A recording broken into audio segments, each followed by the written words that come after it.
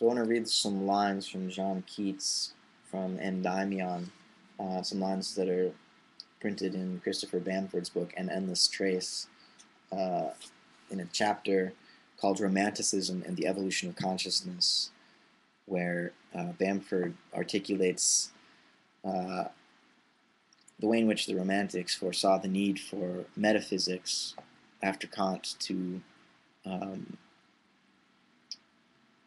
transform themselves into a sort of poeticized thinking so that the philosopher could come uh, rather than in, uh, in, an attempt to reflect the world to gain knowledge of it, but to uh, participate in the creative expression of nature through the power of language, uh, you know, which is Hölderlin and uh, as really developed by Heidegger, as Hölderlin said, language is the flower of the mouth. And if the philosopher wants to gain knowledge of things themselves, somehow language must be redeemed and resurrected, and uh, poetry is the chief method we have for performing such a magical rite as the resurrection of the Logos. So this is John Keats, uh, again from Endymion. Wherein lies happiness? In that which becks our ready minds to fellowship divine, a fellowship with essence, till we shine, full alchemized and free of space. Behold the clear religion of heaven.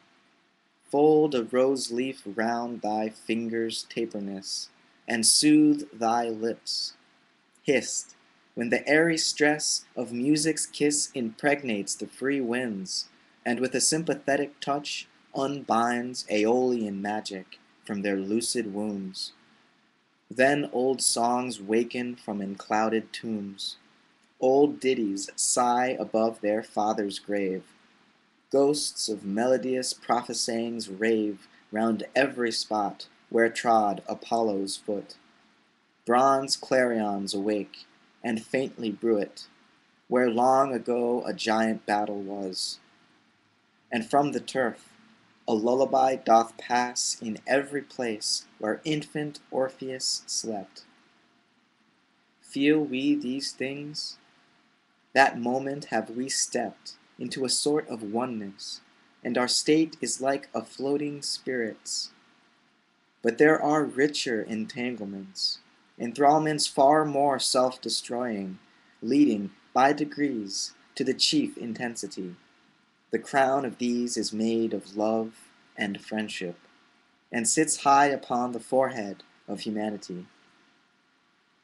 All its more ponderous and bulky worth is friendship, whence there ever issues forth a steady splendor. But at the tip top, there hangs by unseen film an orbed drop of light, and that is love. Its influence, thrown into our eyes genders a novel sense, at which we start and fret, till in the end, melting into its radiance, we blend, mingle, and so become a part of it. Nor with aught else can our souls interknit so wingedly. When we combine therewith, life's self is nourished by its proper pith, and we are nurtured like a pelican brood.